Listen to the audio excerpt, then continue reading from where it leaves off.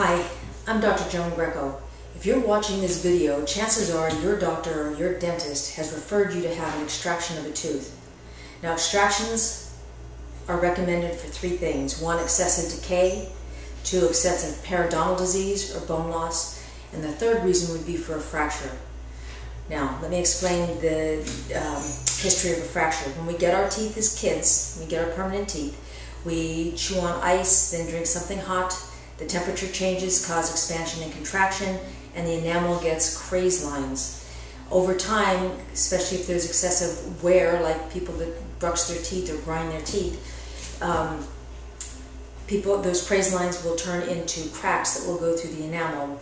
They can sometimes make their way through the dentin, and especially if you've had a root canal that takes away all of the nutrients for the tooth, so your nerve and blood vessels are gone, um, that tooth becomes more like porcelain and it will have a tendency to take that craze line to a crack through the enamel into the dentin and then the nerve.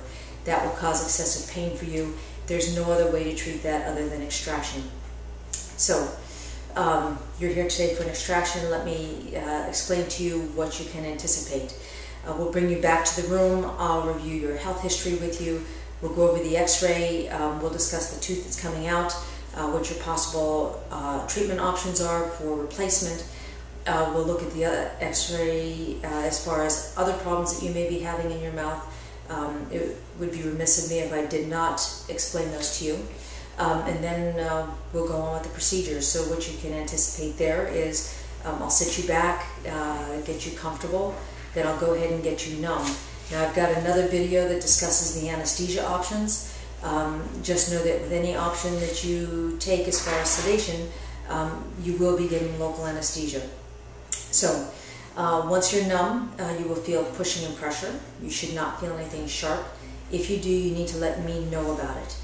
Um, once uh, the procedure is finished, you will have bleeding. Bleeding will be controlled by biting down on gauze. And we'll give you plenty of gauze to go home with. Just fold it up, bite down on it. It's the biting pressure that stops the bleeding. You'll have some blood on your tongue. Real important to brush that off, otherwise it'll start to taste and smell bad. Um, and if there's a stitch in there, please be careful when you're brushing your teeth because if the toothbrush gets stuck in the uh, stitch, you'll see stars. Now, swelling. There are three things that you do that will directly affect how swollen you get. So I'm going to leave you responsible for these three things. And just know that the more swelling you have, the more pain you're going to have. And your swelling will peak or be at its greatest on the third or fourth day. So those three things that you need to be responsible for. One, sleep with your head up either on two or three pillows or in a recliner. Two is ice to your face as much as you can for today and tomorrow. And the third thing is to take the ibuprofen if you're if you're able to tolerate it. Take the ibuprofen. It's going to help tremendously with the swelling. Um, it'll also give you some good pain relief, but we're giving you something separate for pain. So the ibuprofen for swelling. Um, if you're able to follow these directions, then you should be in really good shape.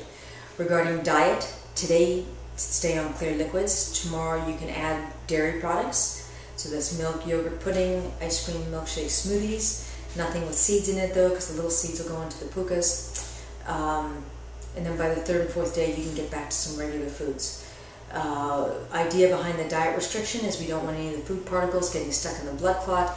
If that happens, you've got a greater chance of that blood clot breaking down, especially if you're a smoker a greater chance of the blood clot breaking down, popping out of the socket, and creating a dry socket.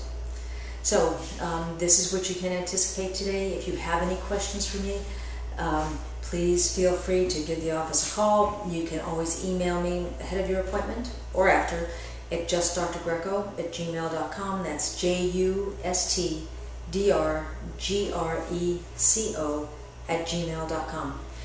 And we'll see you soon.